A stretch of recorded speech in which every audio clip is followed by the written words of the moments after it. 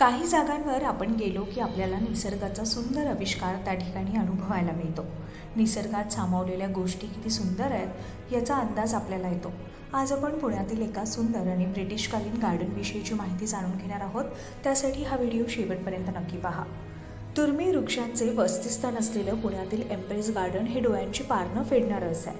दोनशे वर्षाचा इतिहास लाभलेल्या या उद्यानाला agri horticulture society of western India या संस्थेनं जपलाय आणि विकसितही केलाय.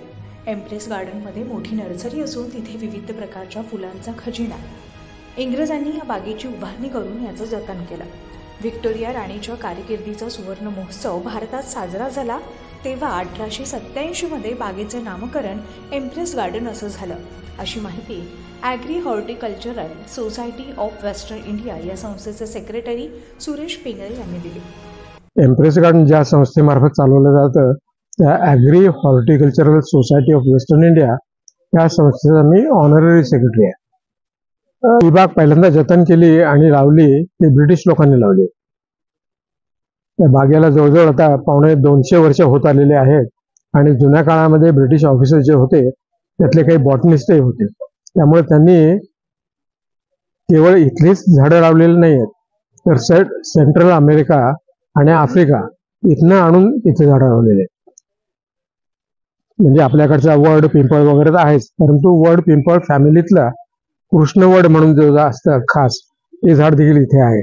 एवढंच नव्हे तर आफ्रिकेमध्ये सगळ्यात मोठं वृ- पुष्कळ वर्षाचं वाढणारं ज्याला बाओबाब म्हणतात किंवा त्याला बोटानिकल नाव असं आहे अडन सोनिया डिजिटाटा ते देखील आपल्याकडे आहे.